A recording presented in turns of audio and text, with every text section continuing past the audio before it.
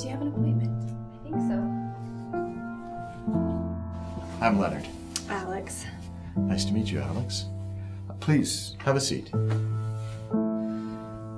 My friend was.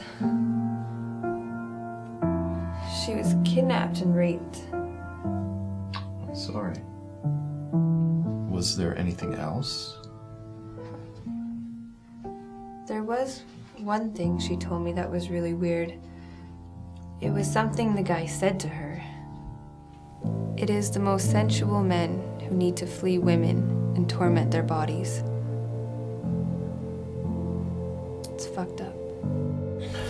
Fred, remember the quote.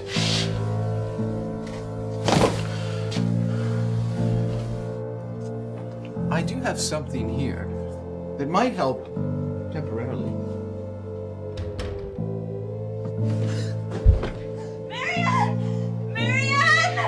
No one can hear you, all right? No use!